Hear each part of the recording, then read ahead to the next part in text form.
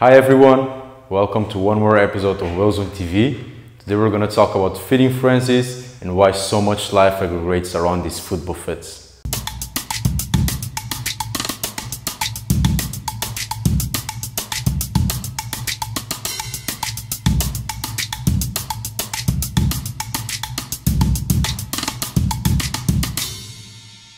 Feeding frenzies are some of the most spectacular events in nature, especially oceanic feeding frenzies, which are magical, action-filled shows.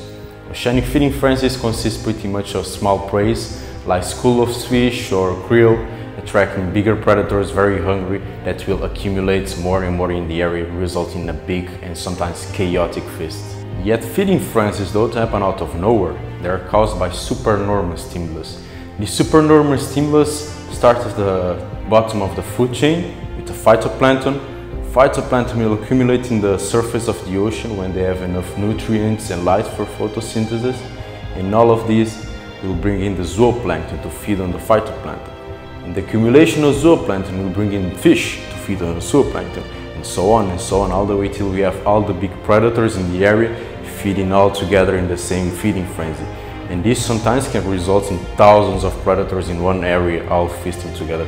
So certain predators in the ocean feed on the same prey, which might result in competition among them. That is, predators that feed on the same animal will try to scare each other away or even attack each other. But what we can also see happening is facilitation and tolerance, where predators that feed on the same prey will tolerate each other or some even, sometimes even make it easier for other predators to eat the same prey. And this is many times when you see the feeding frenzies happening.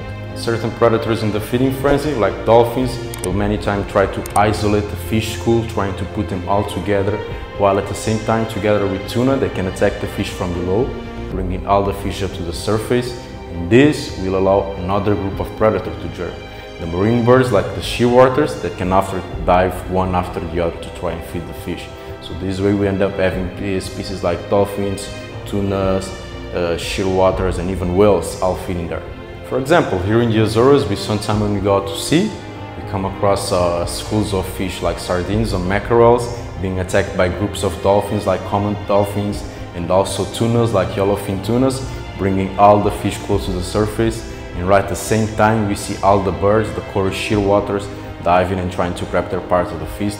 And many times we even get to see some whales feeding in the same area, like sei whales, Bryde's whales, or even humpback whales. So in other words, Feeding frenzies are one of the few events in the ocean where we can see all these top predators aggregating in the same area. As soon as they detect the prey accumulation in an area, they will all go there and aggregate and attack the fish all the way until they get rid of all that school of fish and then they disperse and continue their life. Well guys, that's all for today. I hope you enjoyed this one more video of WhaleZone TV. Don't forget to hit that like button and subscribe and I hope to see you guys on the next video. Goodbye!